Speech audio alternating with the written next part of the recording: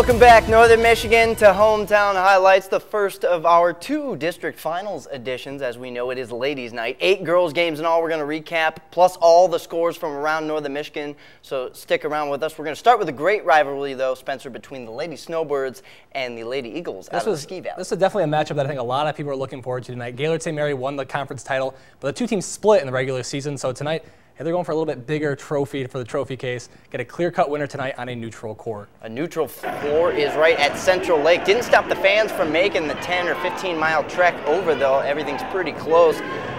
This one lived up to the hype. Bellaire's Leighton Kopke at the top will drive in and find Renee Lalone in the post for the easy basket. Then the Snowbirds look to answer on the inbound. Danica Bebel will get the ball, and she's going to send it in the post for McKenna Roberts. So quick passing leads to quick scoring. And Bellaire working the ball around this time. They find the sharpshooter on the outside, Tiffany Clovis. Deadly from inside the arc, along two there, and that corner, that was the sweet spot. If they were playing horse, they were going to be shooting from there all night long. Madeline Ballin, ball in from three. That goes down pretty well. The Snowbirds, though, they turned to Carrie Baroviak. You knew she'd sneak into the highlight at some point. She's going to get uh, the drop down here to Becca Myler. Myler with the quick footwork and the spinning move off the glass. You hear the roar. Fans loved it. She went to the line to add to the scoreboard, but uh, the scoreboard would say Bellaire tonight. The Eagles win this one in impressive fashion, 44 to 32 over the rival Gaylord St. Mary. Well, the McBain Ramblers probably gotten out to one of the best starts in the district round so far. Two big road wins in Kalkaska and Traverse City St. Francis tonight. They're at home hosting Glen Lake. Rambler student section there. They brought the intensity. Second quarter action now. Jordan Poplinski drives to the bucket, number 42, and one for the Lady Lakers. McBain saying, hey, uh, yeah, we can do that too. Kara Hotston gets in the lane and one, helping extend their lead. Go back to the other end of the court, Lady Lakers. Kelly, Kelly Bunnick to Alex Lacrosse, and uh, she's going to get it Two points, really easy. High percentage shots Glen Lake was getting tonight. And Ramblers, they come up with the steal, and they're going to get out and run. Meredith Hamlet runs ahead of the pack for the fast break lay-in. And the Ramblers, they ran away with this one, staying hot.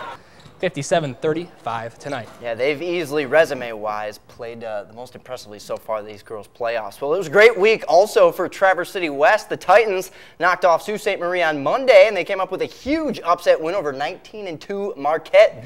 Those two teams north of the bridge, that was Marquette's win on Wednesday in the district semifinal. And now the only thing standing between the Lady Titans and a district crown, uh, that'll be Big North rival Alpena. Big matchup tonight. Lady Wildcats, they've made a lot of road trips lately in these district playoffs. West yeah. won both games earlier this month. Michaela Ray drives and kicks it back to Kimmy Belinsky for the three-point bomb, and that's just the start of Belinsky's highlights. A long tight inbounds, and there she is, right up in front of everybody else with the easy lay, and then Paris Wagner. Looking for a shot down low, but she sees an open Belinsky out in the three-point wing, so I'm going to make her the early candidate for MVP of this entire district, if you don't mind me saying. Wagner this time finds her shot, a banker way high off the glass. Checking out Alpena now, a nice baseline runner here from Alexis Smith gets that bucket to go. But ever since Wednesday, you just had a feeling this was West District to lose, and they were at home all week. So they took home that title at home tonight, 38 to 27. Big North Conference champion Cadillac. We've got to keep talking about the Big North. They're up against Cheboygan tonight. Vikings student section loud and proud watching this one. Action late in this one. Abby Fuller, superstar with the moves. Triple team, doesn't matter. She finds Hannah Baker for and one. Chiefs for double, uh, down double digits late, but they're still scrapping Autumn Hudak. Proof of that. And now Fuller again for the Vikes. Makes a nice pass, moves into the defense, takes it strong. That was Fuller on the inside. She received a nice pass gets the job done. Great footwork by her. Under a minute left here. Claudia Wright gets the and one for the Chiefs. Good effort by the Lady Chiefs, but a little too little too late at that point. Cadillac goes on to win the district at home 43 to 29. Manistee Chippewas, an impressive team in Northern Michigan. Great student section tonight, traveling up to Kingsley for this one against Mason County Central. We pick things up late in the second quarter. Manistee down four. Emily not. Yeah, she, uh, she wipes a little bit of that away. Down one at half. Second half now. Mason County's Kylie Mount. Tough drive to the rim. Uh, then the Chippewas, you knew it was going to come. They start their run here. Emma Burns miss. Annie Fuller board gives it right back to Emma, one of those talented, talented sophomores for Manistee. Chips go up five there, and they're not letting up one bit. Emily Thompson, another sophomore, she catches fire. I'm to show you that one from the corner, and then uh, this is not a replay. This is the very next possession. Same spot, same result. That puts Manistee up by 15. Uh, Spartans, they would crawl back a little bit. Senior Peyton Bladsdale, tough two. And at the end of the third quarter, Makilla Hodges, she's going to clean up this mess. put it back in, but this one was all Chippewas. They stay undefeated. Chip, he was loving it tonight. Number one Chip, you love him there. They get the win 46 to 37, district champs.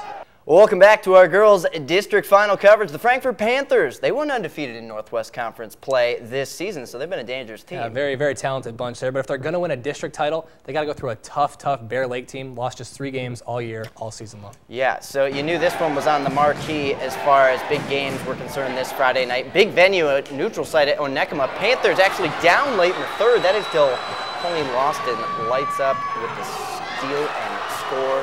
It seems to always work just get get the aggressiveness ahead of your defender. We're tied at 27 at that point. Then Lakers turn to Micaiah Grunwald, scopes out her surroundings and says, I'm going to go inside on that baseline and work the layup. Frankfort flexing their offensive rebound muscle. Two boards here and put putback attempts. The second one is good by Cecilia Schmidt. That's what makes the Panthers dangerous. They keep those possessions alive. Back to the Lakers. Alicia Patterson gets the friendly bounce, but at this point in the fourth, it's Frankfort's ball game to lose. They're starting to pull away. A lost in jumper here gives them a six-point edge. You heard the whistle because the free throw gave them a seven-point lead, and they go on to win by 10 do the Panthers 45 to 35 to move to the regional round. Great game up north. Two Lake Michigan Conference rivals meeting up tonight for a district clown in Great Class C. Yeah, exactly. Lady Raiders, Charlevoix, and Elk Rapids. Gabby Grade, pass outside to Madeline Boss, and uh, that's three points easy. Gray again. This time she's uh, she's feeling a little selfish. She's going to take it herself. Turns the shoulder, gets a nice lay in there. Then at Elks, they're going to go to one of their ballers. This is uh, Granger. Paige Granger. She's going to catch middle of the lane, pull up mid-range jumper. Elks staying with it. Maddie Brown going to bring it up. They're going to run the offense through one of their stars, Bridget Hintz. She's going to catch top of the key, swing it around to Nicole Hill. She's going to miss this shot, but uh, there's Granger again, number 40. Falls into her, turn, tough shot, gets it to go. Kept it alive. Granger again. It's kind of the Granger highlight tonight. She's going to stay with it, Pines Hill. Back inside, Ranger Hintz. She's going to get the nice bucket and the whistle.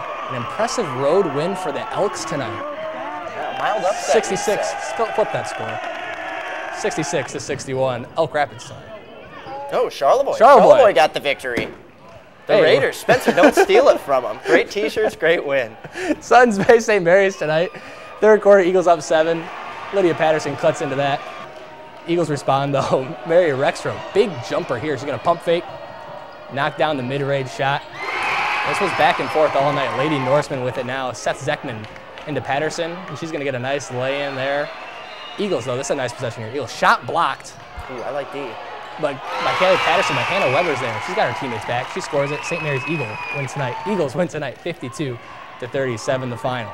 Hey, Eagles flying high. Well, we're going to check the scoreboard and crown our district champions via our fancy graphics. The Clare Pioneers pick up a district title over Big Rapids, 57 to 37. Beaverton picks up a Class C district over Beal City, 53-49. Lincoln Alcona down Houghton Lake tonight, 60 to 40. While St. Ignace, the Saints, Mike Missigo's big pick for a state title, picked up another district title over Newberry this evening, 63-20. Manistee Catholic Central making two Manistee teams with district titles tonight, along with the Chips, 71 to 48 winners over Brethren. Mount Pleasant Sacred Heart they defeated Big Rapids Crossroads by a score of 46 to 34. The Posen Vikings, I can hear the horn from here. A great season is getting even better after a district title, 62 to 36 over Onaway, while Brimley takes home the district crown over Cedarville tonight, 62 to 39. And Engadine, big winners tonight over Mackinaw City by 25, if I do my math correct, 66-41.